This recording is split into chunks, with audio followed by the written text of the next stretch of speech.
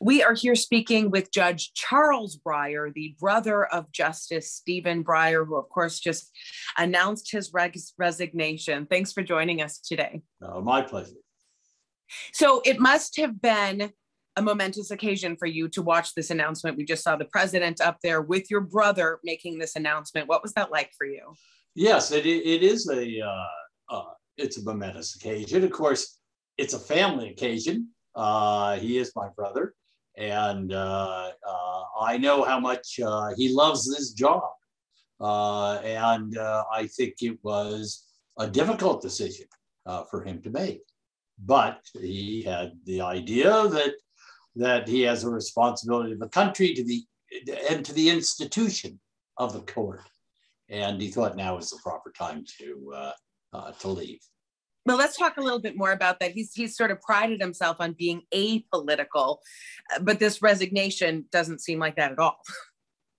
Exactly. Uh, well, let me, you know, I, I think uh, uh, his his view of being apolitical is that you shouldn't do something just because the politics of the situation dictate that it makes sense.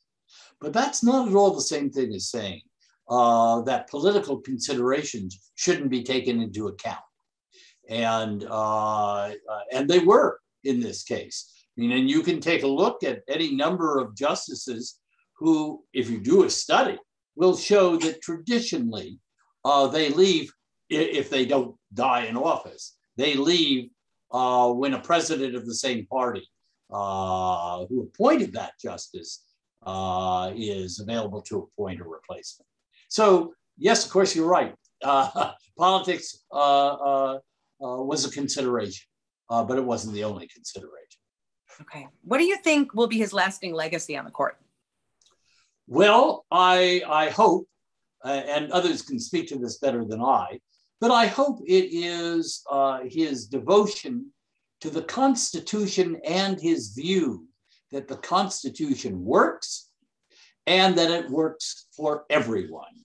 It's not just a legal document that sits, gathers dust and is interpreted. Uh, it is something that that everybody uh, must, uh, uh you know, must try to understand and that it affects everyone. Uh, now, I think that, that one of his great disappointments uh, was a disappointment that, that he shared with Justice Sandra O'Connor.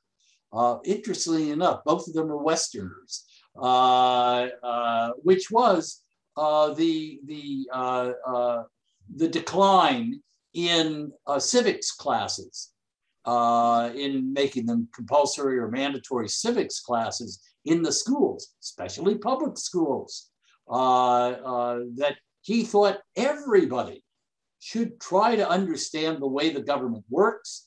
And uh, uh, that will lead to a much broader inclusion of people in the entire process. And what did he think was was that students were going to miss by not having those courses? Oh well, I mean, uh, uh, uh, I think what he thinks will miss is that is that people will not understand uh, the role of the courts in in in our government.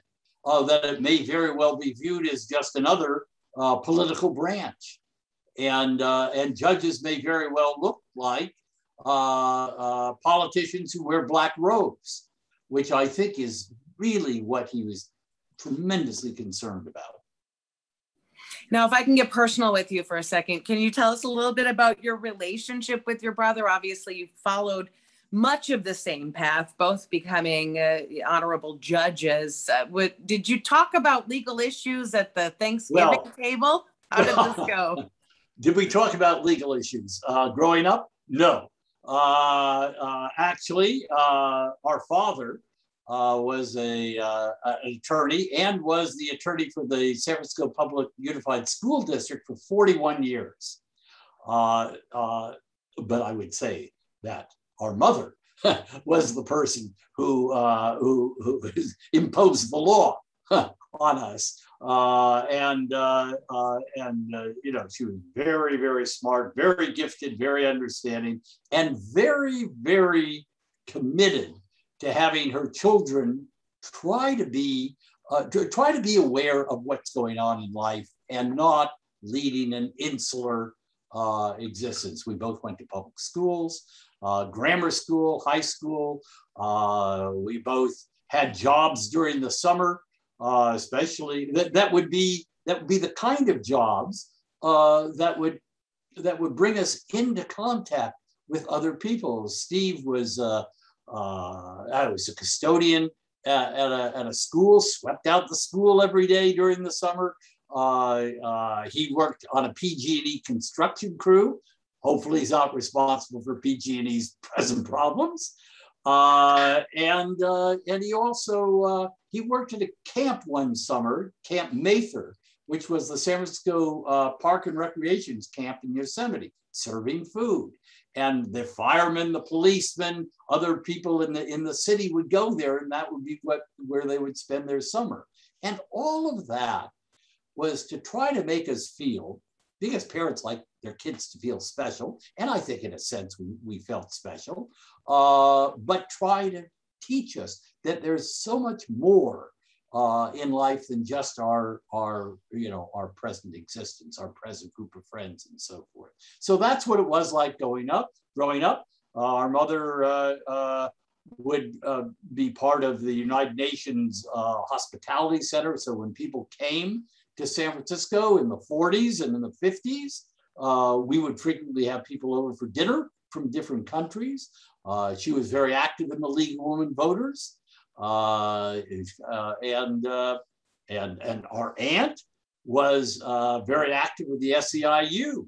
She was the first woman president of a local chapter in, for the SEIU. So it was very much a, a family that wanted to get involved in in in what I call real life or the life of the community.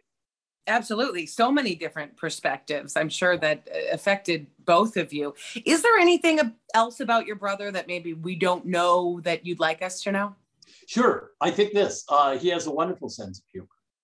Uh, he uh, uh he keeps it out of, uh, under wraps occasionally, uh, but he he he loves old movies.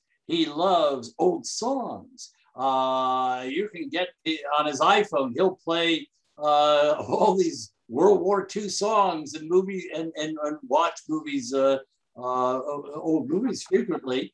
And uh, uh, he loves to loves to share it with his grandchildren and and with the family. So he is very much a family person. So, any idea what's next for him? Do you think he might move back to the Bay Area? No, I think that uh, I think he'll visit the Bay Area for a number of reasons. First of all, I'm here, but more importantly, a grandchild of his is here because his son uh, lives in the Bay Area. So I think he'll be out here. I think he will uh, uh return to Cambridge, Massachusetts, uh, where he's lived uh, since uh, his time uh, when he was associated with Harvard after his after his education. So I think he'll be there, do that. He's tremendously interested in architecture. He's on the Pritzker Architectural uh, Foundation Prize. Uh, he has great interest in, in buildings. Uh, he loves to cook. he loves to write. He loves to talk.